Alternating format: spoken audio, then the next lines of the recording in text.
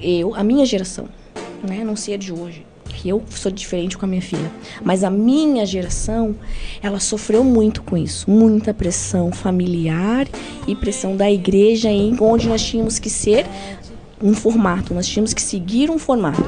E quando eu conheci o Túlio, eu tinha 21 anos. Gente, eu era tímida. Vamos lá, eu era do mato, era do interior do interior de Santa Catarina. Eu não tinha experiência em nada.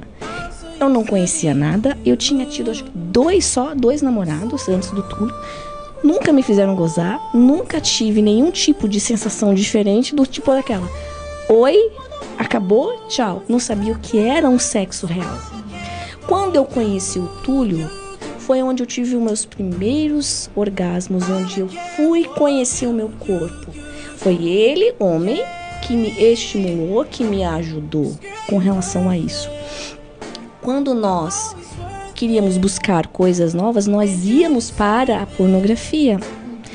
Quando nós é, é, tivemos os nossos desejos do homenagem, por exemplo, primeira coisa que a gente fez, nós assistíamos e aí nós incluíamos os brinquedinhos para entender como era, até como que funcionava, como que eu ia reagir, né?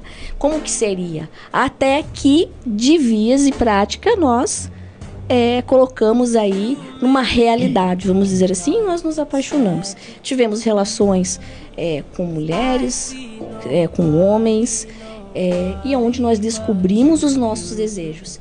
E, por exemplo, no, na pornografia, eu usei para mim como aula, gente. Ali eu aprendi a fazer um oral, ali eu aprendi a, a fazer coisas diferentes, ali onde eu me encontrei como mulher.